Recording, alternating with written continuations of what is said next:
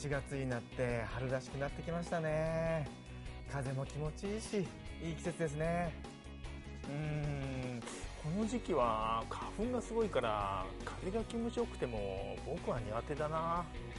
窓を閉め切って走らないとだから花粉が舞い込むのが嫌なんですね。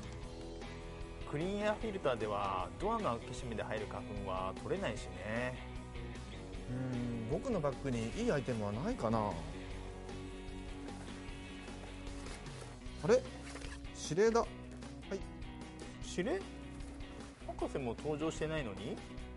えー、っとプラズマクラスターを研究せよ。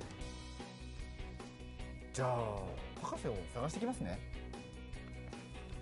まったく最近博士は研究サボってるなもサボっておるのはセニョール君じゃろう。えは博士びっくりさせないでくださいよもそれよりセニョールさん。指令を早く。うなんじゃ？指令が届いたのか？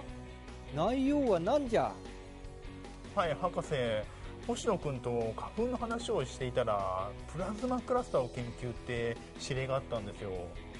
プラズマクラスターは確かにすごいですけど指令とはずれてしまいますよね。果たしてそうかな？プラズマクラスターはいつも進化しておったじゃろう。ターボ運転がついたり可変ルーバーがついたり今までも進化してきたではないか。ではもしかして今回の指令を考えるとそうじゃ。花粉をキャッチする機能が増えたんじゃ。もんげーすげえずらとうとう花粉まで対応したのですか？星野君のバッグの中じゃ。セニョル君探ってみなさい。さはい。あプラズマクラスターだ。博士見た目は変わらないですよ。わからんのか？ターボ運転に可変ルーバー。同じに思いますけど。博士何が変わったのですか？答えは本体の後ろのフィルターじゃ。そのフィルターは花粉キャッチフィルターになっておるのじゃよ。花粉キャッチフィルターですか？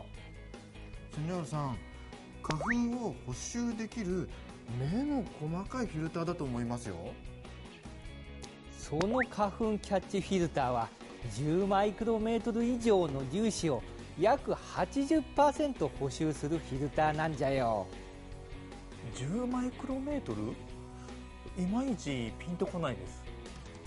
博士例えば花粉の代表格のスギ花粉はどのくらいの大きさなんですか？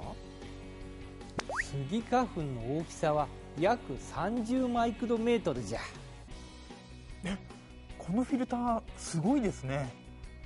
博士ちょっと気になったんですけど花粉まで補修するフィルターだとモーターの力不足になりませんか？安心したまえ。花粉キャッチフィルター対応のためモーターも強化してあるのじゃよ。じゃあ前のモデルに花粉キャッチフィルターを付け替えてもダメか。風量が低下してしまいますもんね。残念じゃが装着はできんのじゃ。じゃが花粉対応は魅力じゃろう確かに魅力です。セニョールさん購入しちゃいましょう。